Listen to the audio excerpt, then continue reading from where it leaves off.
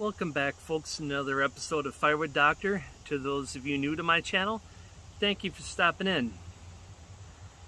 Yeah, I'd be running the saws today by it on this Saturday of Labor Day weekend, but I'm taking it as a rest day. Mainly because my head just isn't in the game today. It, it just, I just don't feel it here to get the work done. And where that's a problem is when it comes to safety running the equipment. If, if your head's not in it, don't run it. That's when accidents happen. That's when you don't give a flying bleep, you know, about uh, how you're making a cut and stuff. Is that's when blank happens and you get hurt, you know. Uh, tomorrow I'm going to be running the saws uh, the, on the Sunday of Labor Day weekend here. But today, yeah, and then another thing uh, I just want to talk about is being kind to people by visiting friends, even if it's just for uh, a couple hours. You know, go visit old friends if you can. Uh, with me and what I'm doing, it's kind of hard for me to get away. I'm so busy trying to build this so I can have time later, so I'm sacrificing uh, time to go out and meet people and eventually I will have the time to go do things with old friends. It's easier if they can come come by me. I'll provide the drinks and all that. You know, I have the the couch or a spare room from the crash on if they drink a lot, too much or something. You know, I always have that option for them. But a friend of mine that met him on YouTube, he uh, people just hate on him online, social media, you know, YouTube and stuff, saying he doesn't know this or that. I'm like, those people are clueless. That when you get to know him, talk to him, he's actually a really decent guy to talk to. You know, he, he could talk about so many things. And what, what what we have in common are chainsaws, and he just he came up. We had a you know had a couple of drinks and uh, had a nice chat and stuff, and it was just plain fun. Talking to you know talk seeing an old friend and talking to him and stuff and then talk to other people around that were hanging out around the bar and stuff. Yeah. Go and visit people before it's too late you know uh, when you can. Uh, like i said i'm working on getting things together so i can be way ahead in inventory. So if a friend says hey i need you you know i got you know, all my ducks in a row and everything taken care of. And it's going to take a while for me to get there where I could just, you know, take a week off or something. And that's what I'm trying to build up to, you know, to go help them out or, you know, be with them if they're sick or something. That, right now it's just tough. So, yeah, uh, sales have been basically crap this week. I sold, uh, three of the four foot racks earlier this week and then uh, sold a total of five of the four foot racks this week and you know it's just disappointing. Nothing's really sold. And I sold a $20 rack so that's what I'm gonna do next is restock that with this oak I just split that's basically ready to burn. So I got to get the wood piled up into the truck which sucks because I got to chuck it now if I take this stuff, I could stack it in there and be nice about it. Then I can pull the pallet out of the way, then I can back up to the other stuff because I just hate uh, chucking wood because it beats up the truck bed even though I got a heavy duty uh, cargo mat.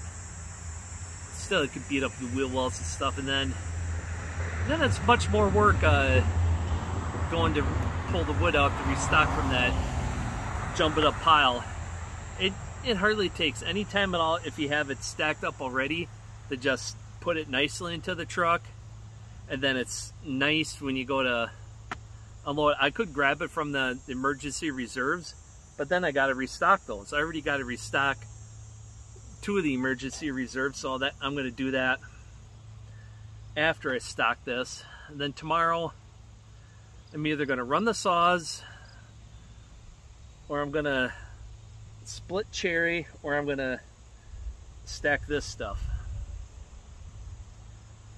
I'll have to I'll have to see what you know what I really feel up to, but I know that a lot of that cherry is ready to burn, so saw in that moisture test video, so I might do that. So let's get uh put on some music and uh, get the get the racks restocked and uh, have another little discussion at the end of the video.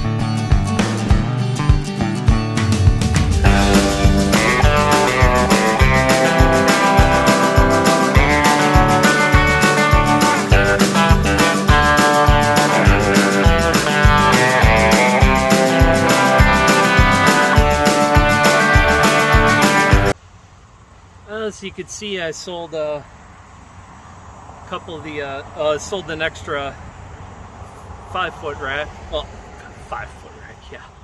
Four foot rack, so that helped boost my spirits. And then as I got working, I started feeling good.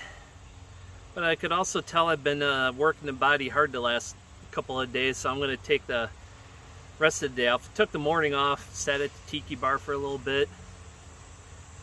I let, I let the drinks get out of me before I went down the road, so I, it spent a couple hours you know, just sitting there doing nothing, and before I drink, what was it, three hours after I drank the last drink, I, I finally took off down the road. So yeah, it, it's it was, it was safe for me to drive, but yeah, it's uh, boosting my spirits. I'm not gonna push it today. Uh, I'm gonna do the $20 racks tomorrow. Uh, one, I'm gonna sell some more of the older wood out of there before I put in the good cherry. So I'm gonna start selling the cherry in these racks. And just to see if I hear anything about it. I, I spread the word that I have cherry ready to go to, to some of the people in the campground, so. That's it, folks. Until next time, take care, get out there, do something, have fun doing it. Remember, if you think... I can't even talk straight. If you drink, don't drive, do the watermelon crawl.